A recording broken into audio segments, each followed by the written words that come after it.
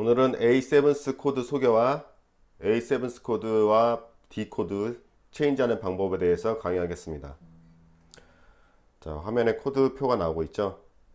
자, 2번 손가락이 3번 선 두 번째 fret, 3번 손가락이 2번 선 두 번째 fret.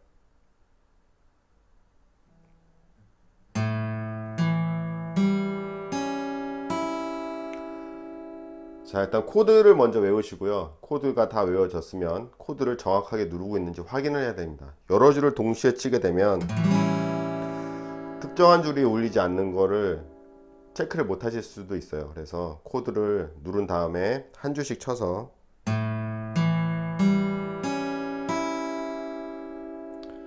모든 줄이 다 울리고 있는지 확인을 꼭 해야 됩니다 자 코드도 외우고 이제 코드도 정확하게 누를 수 있게 된다면 앞에서 배운 것처럼 코드를 정확하게 누르고 떼는 연습을 하면 됩니다.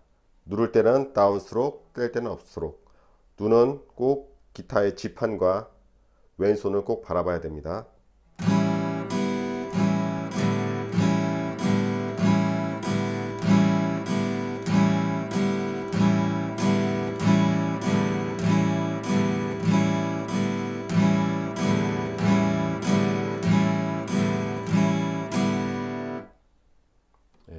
이 연습이 충분히 된다면 이제는 이제 D코드와 체인지하는 방법에 대해서 강의하겠습니다.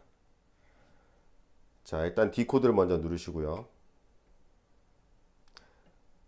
1번 손가락과 2번 손가락을 떼고 3번 손가락은 힘을 살짝 빼주세요. 이 상태에서 엄지도 같이 헤드 방향으로 옮겨주시면 됩니다. 두 번째 프렛에서 A7 코드를 누릅니다.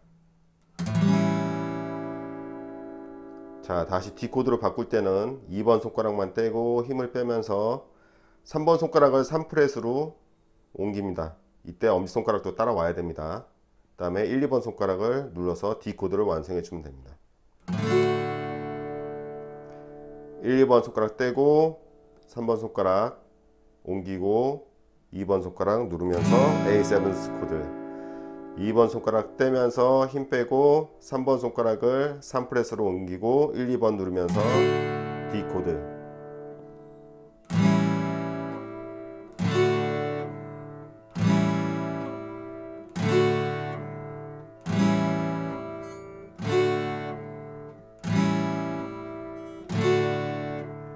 자 A7 코드 누를 때 주의하실 점은 사용하지 않는 1번 손가락이 이렇게 앞으로 뻗치는 경우가 있어요. 힘을 줘서 이렇게 하지 마시고 쓰지 않는 손가락들도 쓰는 손가락들 주변에 가깝게 두시기 바랍니다. 힘 뺀 상태로.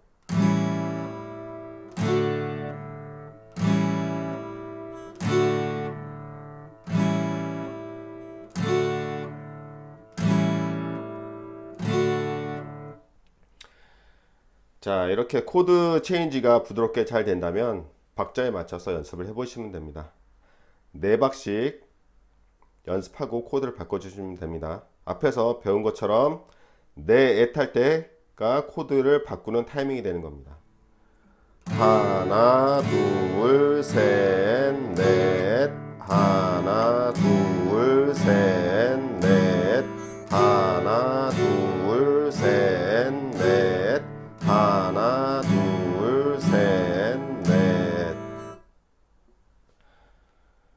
자 눈으로 보고 충분히 연습하신 다음에 블로그에서 예제를 다운받아서 악보를 보시고 노래를 부르시면서 연습을 하시기 바랍니다. 여러분들 기타 연습하실 때 기초 내용을 꼭 마스터 하시고 교재 내용을 연습하시는 것이 좋습니다 항상 기타 연습하기 전에 조율은 꼭 해놓으시고요. 통기타 잡는 자세부터 피크 잡는 방법, 그 다음에 스트럼 하는 방법, 피킹 하는 방법, 왼손 오른손 타이밍 연습, 마지막으로 기본 음자리 연습까지 꼭 하신 다음에 알프레드 교재를 하시면 여러분한테 좋은 결과가 있을 겁니다.